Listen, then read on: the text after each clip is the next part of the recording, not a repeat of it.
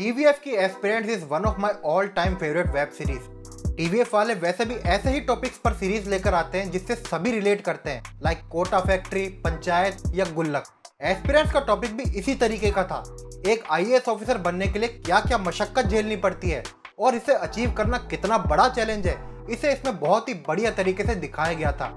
और साथ ही इसके कैरेक्टर्स भी लोगों को बहुत ज़्यादा पसंद आए थे। इन्हीं सब वजह से इसे बहुत तगड़ी माउथ पब्लिसिटी भी मिली थी। और अब इसका जो सेकंड सीज़न आया है, वो इसी कहानी को आगे लेकर जाता है कि आई बनने के बाद उसकी लाइफ में क्या चेंजेस आते हैं। और क्या तब भी चैलेंजेस देखने को मिलते हैं? क्योंकि नॉर्मली सभी को ऐसा ही लगता है कि आई बन गए, अब तो लाइफ आराम है। बट असल में आई की लाइफ उतनी आसान नहीं होती जितनी दूर से लगती है। वैसे तो कहा जाता है कि सफ़र मंजिल से ज़्यादा खूबसूरत होता है। और सफ़र को हम सीज़न वन में मंजिल तक पहुँचते हुए देख चुके हैं। तो क्या सीज़न टू उसी तरीके से इंटरेस्ट जगह पाएगा? इस पर मुझे थोड़ा डाउट ज़रूर था। तो क्या मेरा डाउट सही था? या फिर ये भी सीज़न वन की ही तरह अपना मार्क छोड़ पाएगा? यही जानेंगे हम आज के रिव्यू में। बट रिव्यू शुरू करने से पहले अगर आप चैनल पर नए हैं तो प्लीज़ सब्सक्राइब कर लीजिए, ताकि आगे आने वाले वीडियोस आपसे मिस ना हो। तो अब बिना किसी देरी के let's start the video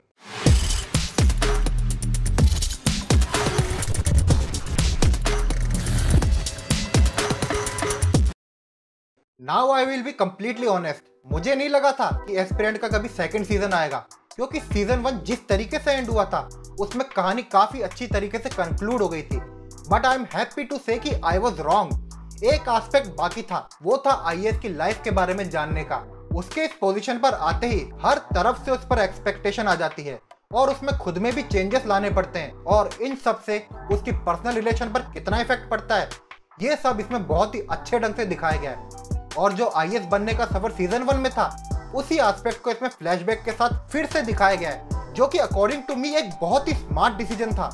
but एक बात इसमें लगी कि अगर फ्लैशबैक सीन्स का लुक या कलर पैलेट अलग होता तो थोड़ा बेटर होता लाइक कोटा फैक्ट्री में जैसे ब्लैक एंड व्हाइट का यूज़ किया गया था, क्योंकि कुछ कुछ जगहों पर फ्लैशबैक में कंफ्यूजन होता है specially in the first episode कहानी की बात करें तो शो वहीं से आगे बढ़ता है जहाँ सीज़न वन खत्म हुआ था। अभिलाष रामपुर में डीएम है और संदीप औलान के सीनियर हैं। एक मुद्दे को लेकर उनके और अभिलाष के बीच में एक विवाद हो जाता है, जो बहुत बड़ा बन जाता है। इन्हीं सबके बीच एस के और गुरी अपनी अलग स्ट्रगल से गुजर रहे होते हैं, जिनसे भी एक अलग कॉन्फ्लिक्ट पनपता है, और यही सब इस शो की कहानी का बेस है। सबसे बड़ी चीज़ जो एक्सपीरियंस और बाकी टीवीएफ शोज़ की यूएसपी रहती है, वो है इनकी रिलेटिबिलिटी आप इनके कैरेक्टर्स इनके एक्शन से पूरी तरीके से रिलेट करने लग जाते हो, और सेम यही बात इस शो में भी है।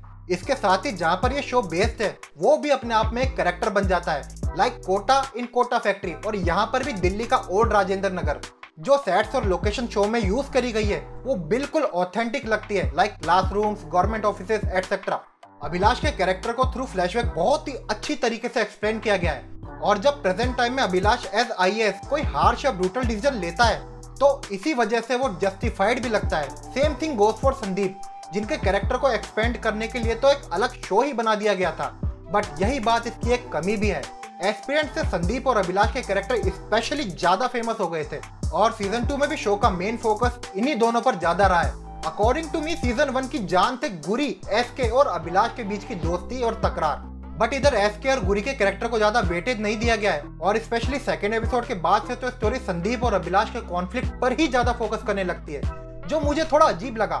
वैसे तो शो पाँच एपिसोड का ही है बट फिर भी शो थोड़ा ड्रैग करता है। जो फ्लैशबैक में नए कैरेक्टर ऐड हुए हैं, वो भी शो में कुछ ज़्यादा वैल्यू ऐड नहीं करते हैं। पर इन सब के बावजूद, भले ही संदीप और अभिलाष का कॉन्फ्लिक्ट उतना इंटरेस्ट नहीं जगा है जितना सीज़न वन में आता है बट शो के कुछ सीन्स और परफॉर्मेंस आपको लंबे टाइम तक याद रह जाएँगे।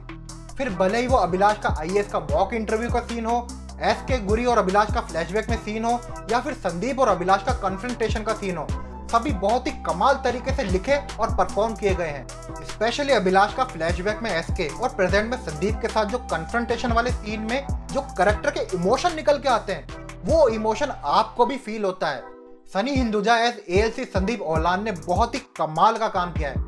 उनकी एक्सप्रेसिव वाइस और वॉइस मॉड्यूलेशन वगैरह सब एक्स्ट्रा ऑर्डिनरी है। वहीं Naveen Kasturia as Abhilash is once again phenomenal उनको देखकर लगता है कि ये रोल बना ही उनके लिए है। और साथ ही Abhilash Thapliyal as S K is also outstanding specially emotional scenes में।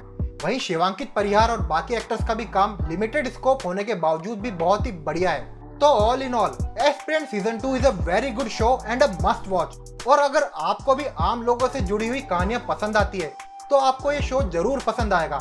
साथ ही हेड्स ऑफ़ टू टीवीएफ जो लगातार अच्छे और नॉर्मल ज़िंदगी से जुड़े हुए कंटेंट पर शोज़ लेकर आते हैं। सो so, इसी के साथ that's it for today's video guys review अगर आपको अच्छा लगा हो तो प्लीज़ लाइक करें और अपने दोस्तों के साथ भी शेयर करें। अब मैं आपसे मिलता हूँ अगले वीडियो में।